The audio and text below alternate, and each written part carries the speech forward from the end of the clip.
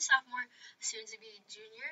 Uh, I am studying business administration with a concentration in pre med. And I'm running for vice president because I want to be part of an organization that promotes my culture and also increases diversity. So, my prior experience with this position was um, freshman year of my high school year, um, and then the rest of my high school career was uh, in the president's position um, for Stuco, of course. For VSA next year, I want to help increase the number of like active members and also make the meetings um, more engaging. But beside those two main goals, I want to be able to contribute in any way that I can. Um, in terms of next year's like involvement and activities, I will still be helping out with my research lab, volunteering at Lawrence Memorial Hospital, uh, be active in my youth group, church youth group, and um, help with help out with Business Healthcare United. Um, in terms of time management, uh, I would dedicate at least one to two hours every single week to help plan for the meetings and actually execute the meetings. And then, depending on the activity that we have, um, like during that month for VSA, I will dedicate more hours if needed. Uh, in what ways am I going to try and assist the president? Um, I will be helping the president by giving all the support uh, that the president needs, uh, whether, whether that be stepping in when the president can't make it to a meeting or um, taking over any other task.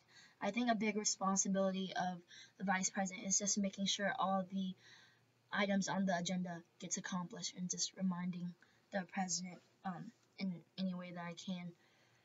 And how do I plan to improve the relationship with other universities? I think keeping an active communication is very important.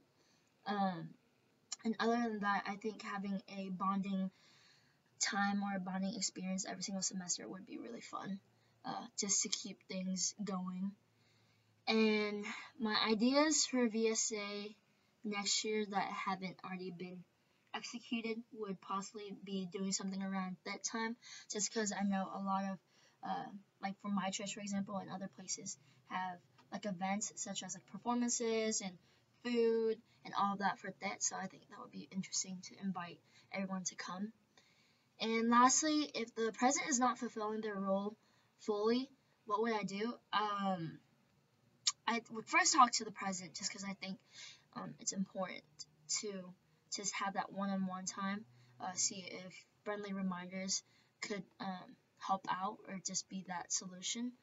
Other than that, if the problem continues, then I would approach the rest of the board and talk to them and see if we can solve the problem.